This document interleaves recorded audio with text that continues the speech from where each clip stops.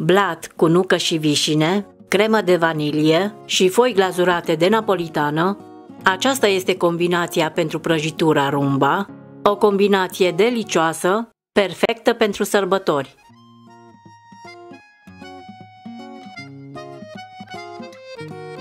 Și pentru blat folosim 6 albușuri, 120 de grame de făină, 200 de grame de vișine din compot, 200 de grame de nucă prăjită tăiată grosier, 150 de grame de zahăr și un praf de sare. Batem spuma albușurile cu praful de sare,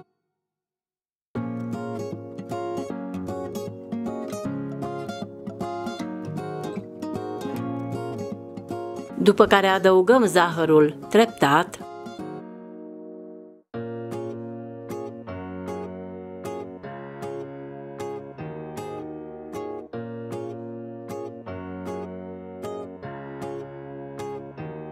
Mixăm pentru 5-6 minute la cea mai mare viteză a mixerului sau până când zahărul se va dizolva în totalitate.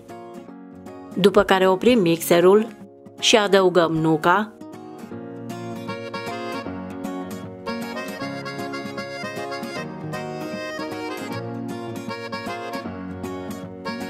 Trecem apoi la tapetarea vișinelor cu făină,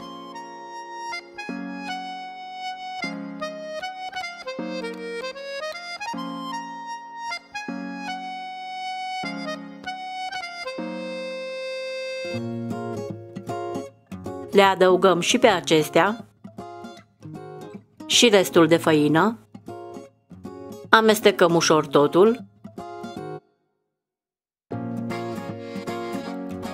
După care avem compoziția pregătită. Și folosim o tavă de 25 pe 35 de centimetri, tavă tapetată cu hârtie de copt, punem compoziția în tavă,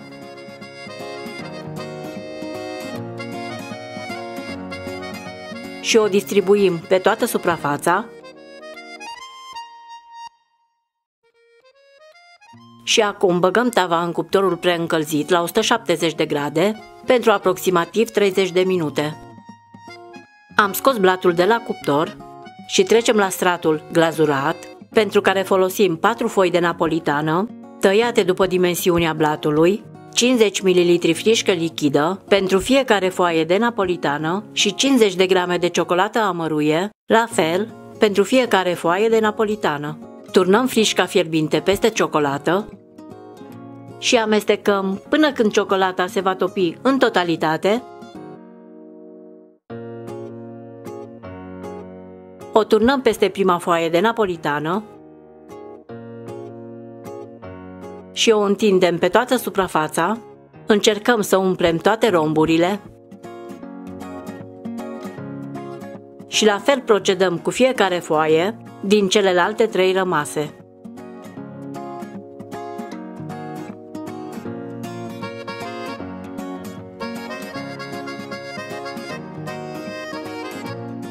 Punem foile una peste cealaltă și presăm ușor Vom avea cele patru foi grupate două câte două. Trecem la asamblare și punem prima pereche de foi de napolitană. Am două părți de cremă de vanilie și voi întinde pe toată suprafața una dintre ele. Linkul rețetei de cremă de vanilie îl veți găsi în descriere. Crema obținută va fi suficientă pentru întreaga prăjitură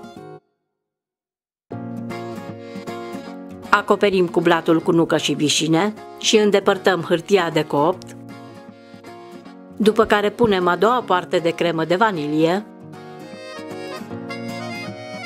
cremă pe care o întindem pe toată suprafața blatului,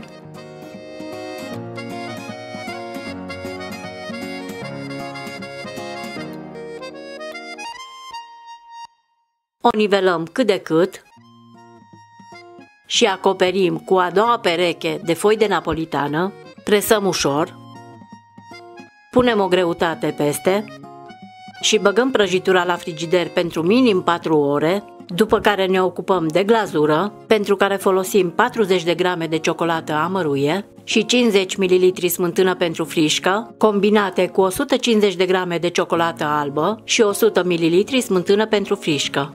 Am scos prăjitura de la frigider, Eu voi tăia marginile prăjiturii. Acum turnăm smântâna pentru frișcă fierbinte peste ciocolată și amestecăm până când aceasta se va topi în totalitate.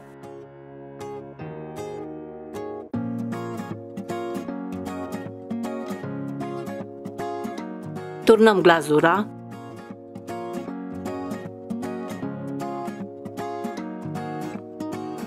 O întind cu o spatulă pe toată suprafața.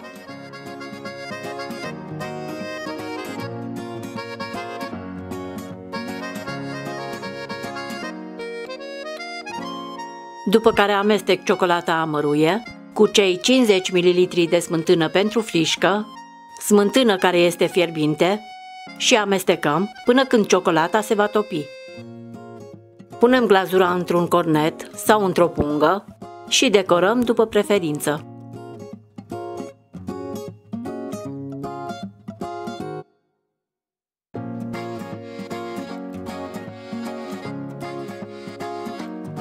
Acum vom băga prăjitura la frigider pentru o oră, după care prăjitura rumba se poate tăia și servi. Sper că v-a plăcut modul meu de prezentare. Este o prăjitură populară din categoria prăjiturilor de casă, o prăjitură pe care vă recomand cu drag. Am ajuns la final și nu uitați să vă abonați pentru a fi la curent cu următoarele rețete și să dați like și share acestui video dacă v-a plăcut. Eu sunt Adi Jo și vă mulțumesc pentru atenție și vă urez toate cele bune până la următoarea rețetă. Pa, pa!